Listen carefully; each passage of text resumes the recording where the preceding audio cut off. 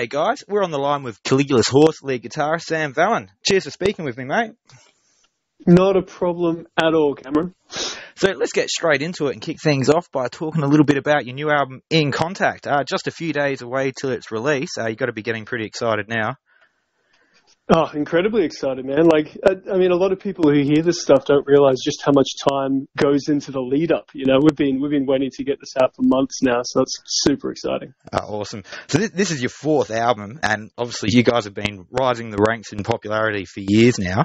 Um, are you starting to feel a bit of pressure, but like either during the writing process or just prior to the release of it?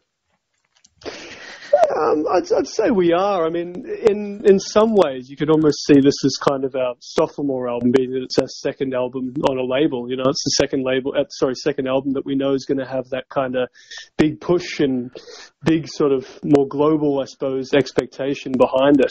So yeah, there's a bit of pressure, but again, you know, I'm pretty confident with it. I think it should be. I think it should keep people happy. I guess we'll just have to see. Well, I've had a little sneaky of the album, and I can tell you, as far as I'm concerned, it's bloody amazing. Um, oh, like, awesome. It. Even for a Caligula's Horse album, it's like extremely complex piece of work. Um, did, did, it evolve into that, or did you guys go into the writing process knowing it was going to be like a four pe- four piece epic monster? yeah, I mean the, the, concept definitely took a bit of a life of its own um, as, as we as we put it together, but I mean, we, we sort of have this mindset going into every album where uh, we, we're, we're, very explicit that we want to make sure that it contrasts the last one in some way. So with Bloom, it was going to be sort of bright and vivid and colourful as opposed to uh, Tide Thief and River's End before it, which was, you know, a fairly dark concept album. When it came to writing this album, we, we had a sit down and we, we sort of thought, okay, how do we contrast from Bloom? How can we build upon that without repeating ourselves and while also sort of maintaining a tangible sense of progression, a, a, trajectory from that last album.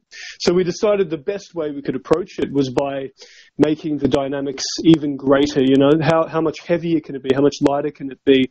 Uh, how much more can we play with the sort of the instrumental possibilities in this band? Of course, it's based around uh, a time when we've got two new members, both of whom have incredible technical ability. So yeah, I mean, it was definitely intentional to some degree. We we knew that we wanted to create something that felt bigger and more grand than before, but at the same time, it's it is kind of a natural step for us as well. It's fairly holistic. You know, see, see to, to, to, to a fan and just you know a basic guitarist like me, just imagining trying to put all that together is mind-boggling. Like, what, what do you do? How do you break it down into parts? Like, are you going home and writing a riff, and, and are you building on it like that, or like honestly, how do you do this? no, that's that's a, that's a great question because the thing is, we've actually got a pretty consistent uh, creative approach to the way we do it. That's that's Jim and I, Jim Jim Gray, our singer. We usually just uh, like I'll, I'll come up with a riff. It can be as simple as that. I'll come up with a I'll come up with a riff, or I'll come up with a, a chord progression, or something that I think has some kind of musical merit. I'll chuck it up in a Pro Tools session, and I'll start manipulating it, you know, programming parts to it, layering it up until it starts to take some kind of actual musical shape. And from the very beginning, Jim and I'll get together and start workshopping melodies, start working out where that would fit structurally, trying to take as uh, as top down a view as possible of the song as we write it. So it's not just a bunch of ideas thrown together. It's it's something that sort of makes sense as a whole. But in terms of the parts, I mean. Graves, for example, the last song on the album, it's you know it's something with a scope that we haven't really touched on before um, in Caligula's Horse. And that was definitely something that creatively was fairly overwhelming. I mean, I, I, still remember that after writing something like that, it took us, I think, about two or three months to put that together.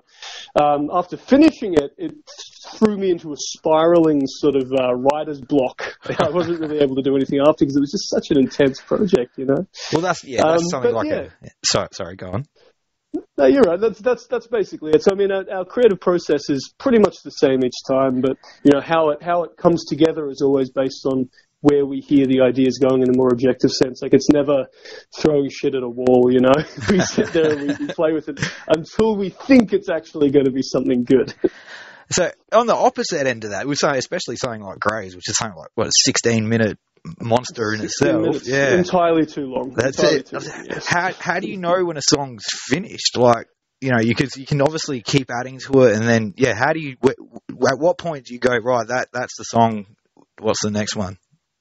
That's a that's a great question because I mean, when you listen to In Contact, especially, I mean, even more so than our previous albums, there's a lot of songs on the record that are actually fairly sparse as well. Like, I mean, you know, Graves is obviously the opposite. It's, you know, hundreds of tracks in my session when I put that mix together. It's, it's, it's mad. But on the other hand, you could have something like Capulet, which is really just an acoustic guitar, some drums, bass, vocal, and some very sparse keyboards, you know, like, I think, I think it's done once it sort of fulfills that idea that I was describing in the creative process that we, we sort of try to tap into straight away if you can put something into a session, into a Pro Tools session, into Guitar Pro, however it is that you write, everyone does it in a different way. If you can tap into what that's going to be at the very beginning, not necessarily how it's going to be as a fully formed thing, but what kind of vibe, what kind of atmosphere it's going to convey, then it's pretty easy to tell when you've achieved that. So it's pretty rare that we run into those kind of crises of, oh, you know, can I keep going with this? Can it become more detailed, more intricate?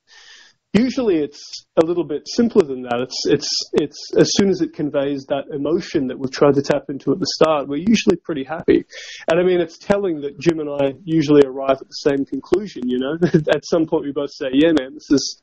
This is it. Let's, Absolutely. Let's get the guys to learn it. So the world's already had a chance to hear a couple of songs from the album. How, how's the response yes. been? The response has been amazing. Um, Will's song was an interesting one to drop first because obviously it's, well, I mean, I'd, I'd, probably say it's possibly our heaviest song. If not, it's definitely up there. Um, and I think it's sort of, as much as the reception was really good, I know there were a bunch of fans that were a little bit worried that it was going to be, you know, a really, really metal album. Uh, and it is here and there, but it's not entirely dominated by that. On the other hand, Songs for No One's kind of the opposite, you know, it's fairly sort of colourful and fairly gentle if dense. I know those sort of seem like they're mutually incompatible, but that's kind of what we were going for. Um, and the reception to both have been awesome. I think people are already getting the idea that the album is going to be varied because of those two extremes. Absolutely. Well, I'm loving the uh, the bit of extra ferocity that you've added to it, um, and I cannot mm. wait to see it live. Um, their tour for this album starts off at the end of this month in Perth. Yeah. So, uh, how many tracks from the album are you going to be playing? Do you reckon? we get okay. I don't want to spoil it too much, but we're definitely going to be playing a few. Awesome. Uh, we're going to play. Let, I, will I'll tell you, we're going to do three songs off the new album, but we're also going to bring back a couple of songs that we've never played off some of the older albums. So it's going to be a pretty varied set list. I think people are going to be kind of surprised actually at some of the stuff that we're doing. But yeah, there's going to be quite a quite a bit uh, in terms of minutes of the new material, if that is any hint. um, three songs. awesome, awesome. I can't wait. I cannot wait. Uh, and as well as you guys, you've put on a bunch of killer supports in all the different states. Um, do you guys have much of a say in that, or is that something that's just sort of presented to you? Oh no, we're we're, we're super plugged into it. I mean, I, I, think it's true for us, but it also seems to be true for a lot of Australian bands. We're really interested in the scene, you know? It's like, it's tight knit enough that we follow everyone that we're interested in, and when it comes time to tour, those are the bands that we get on board.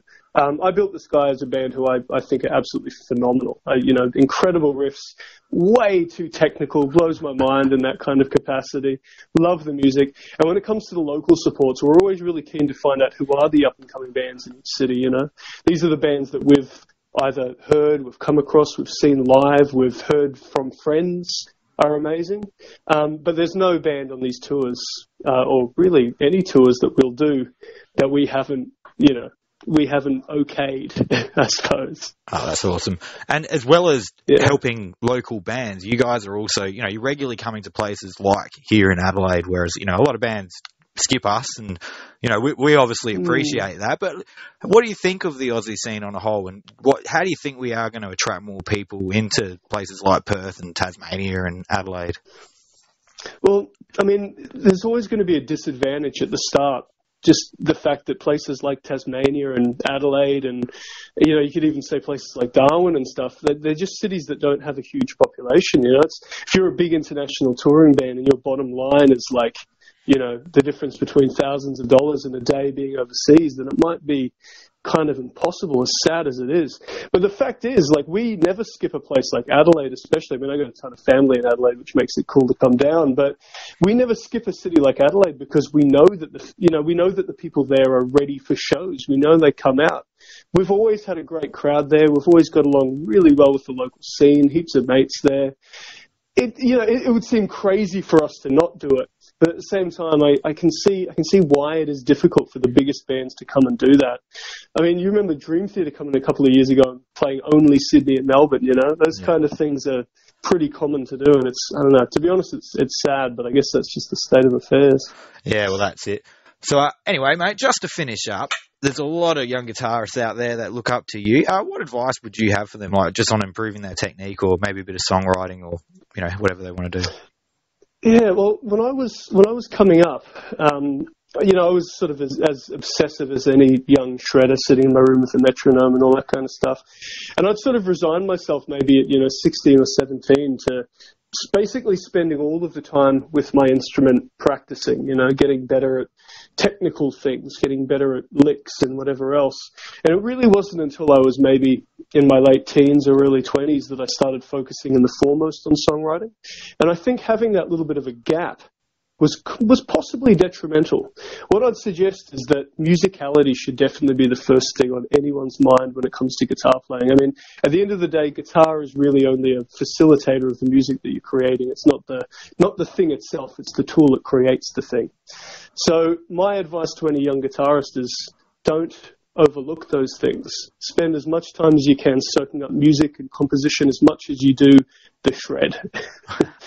Hopefully that helps. That is awesome advice. Oh, thank you very much for speaking with me, Sam. Uh, good luck with the album release, and can't wait to see you Thank here you. in Adelaide at the end of the month. awesome. I'll see you there.